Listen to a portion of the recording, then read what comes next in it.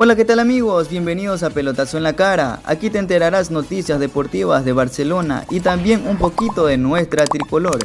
Te invito a que te suscribas, comparte con tus amigos y con tus amigas, que de verdad esto me ayudaría mucho. Bueno, Barcelona es el puntero en la tabla de posiciones de la Liga Pro, donde esperamos volver a bajar la estrella número 17. Pero para que eso ocurra debemos seguir con la regularidad de seguir sumando puntos y esperar que los que están debajo de nosotros, los cuales le vienen pisando los talones a Barcelona, puedan tropezar para poder allanar el camino de manera mucho más fácil. Ahora para que el ídolo Ecuador Barcelona pueda hacerse del título nacional, tiene que superar un muy complejo panorama.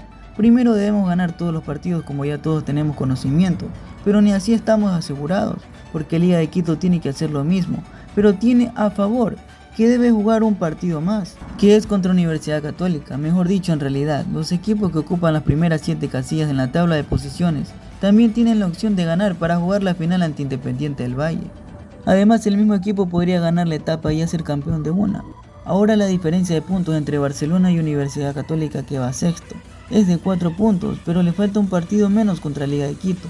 Es decir, por el momento no hay nada resuelto todavía. Lo único que le resta hacer a Barcelona es que debe ganar todos estos últimos 5 partidos restantes, de los cuales uno de ellos solamente es en Quito, y esperar que Liga de Quito tenga un traspiés y los demás equipos que lo siguen también. Pero vayamos un poquito más allá y analicemos mucho mejor las cosas. Y es que de verdad Barcelona es el firme candidato para ganar esta segunda etapa de la Liga Pro. Yo la verdad pienso que primeramente para llegar a la final de la Liga Pro tendremos que ganar esta etapa. Después la pregunta es que si Barcelona tiene sustento, porque si sigue jugando como le está haciendo ahora, no le va a alcanzar. Y de Yapa hasta nos pueden alcanzar, como Independiente del Valle, Liga de Quito, Técnico Universitario, Universidad Católica o el propio Delfín. Ahora creo que Barcelona puede mejorar su producción futbolística. ¿Cómo debe ser? Solamente Diego López lo sabrá. Pero Barcelona sí tiene cómo mejorar y que los partidos ya no sean tan sufridos como lo estamos haciendo ahora últimamente, sino que se le vea que tiene un rendimiento y un poder colectivo, tanto en la parte defensiva como en la parte ofensiva. Y bueno, metámonos con más novedades y atentos, ya están descalificadas las dos listas, y es que el Tribunal Electoral decidió descalificar las dos candidaturas, Rafael Verduga por no cumplir los requisitos de la ley y Antonio Álvarez porque hay miembros que están en toreros y no se puede estar en dos clubes a la misma vez. Entonces en definición ya no hay listas, por lo cual ya no hay elecciones y tienen que volver a convocar. Es un club de fútbol y estamos hablando de procurador, de Ministerio de Deporte, de que tomó una ley como otra ley, del artículo 71, de abogado, de impugnaciones. ¿En qué momento convertimos todo eso? ¿En qué momento el socio, o sea, nos, nos interesamos realmente por el club, por el socio, por el hincha?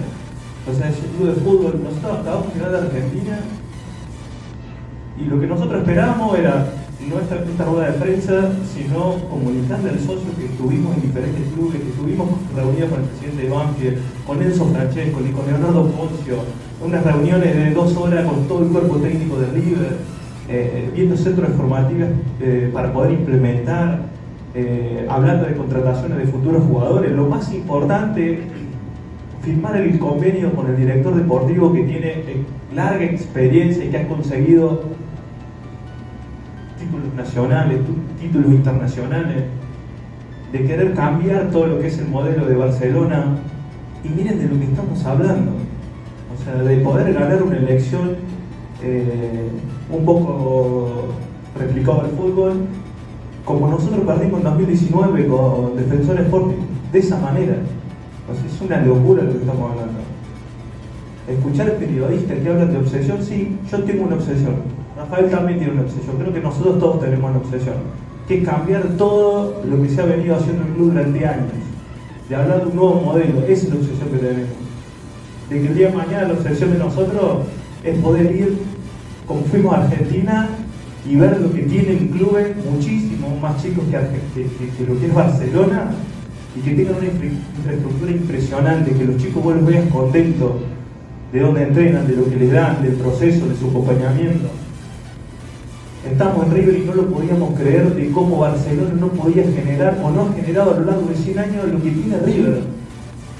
Barcelona es tan grande también acá en Ecuador como River en Argentina. Hablamos de River que tiene más de 200.000 socios y nosotros queremos llegar, quizás eso es un número demasiado alto, pero también buscar eso. Y hoy estamos hablando de otra cosa totalmente distinta. Acabamos de, acabamos de llegar, ha sido una semana bien intensa en Buenos Aires junto a Matías, a Munir, a Rudy. Estuvimos revisando temas, temas, temas deportivos principalmente, pero también intensa por lo que conocemos y todos hemos escuchado con respecto al tema eleccionario en Barcelona. Sabemos que, han ocurrido algunas cosas, algunas coincidencias bastante eh, raras en estos, en estos días. Eh, hasta este momento nosotros hemos presentado nuestra lista, el Tribunal Electoral no nos ha manifestado ninguna resolución en contrario, pero más allá de eso sí creemos que se está dando un tema de algún tipo de manipulación. Eh, nosotros somos nosotros somos una nueva alternativa y, lo que entendemos somos un nuevo modelo, lo que le estamos proponiendo al socio de Barcelona.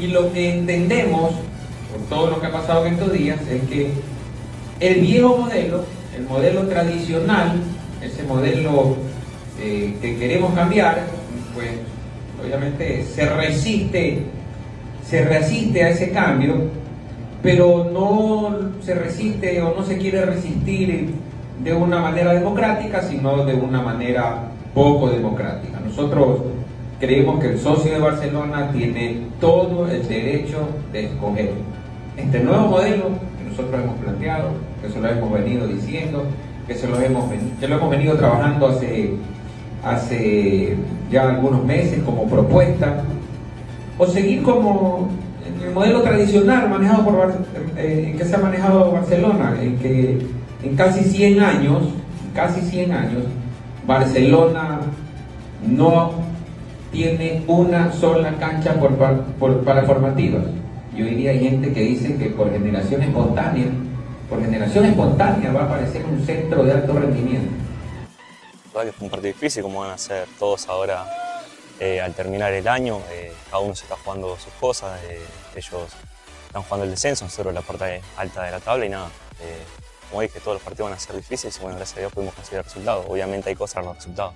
Y bueno familia barcelonista, muchísimas gracias por haberme apoyado viendo este video informativo, espero que les haya gustado, por favor no te canses de seguirme apoyando, comparte con tus amigos, con tus amigas, un grandísimo abrazo a la distancia como siempre y nos vemos en el próximo video. ¡Vamos mi Barcelona!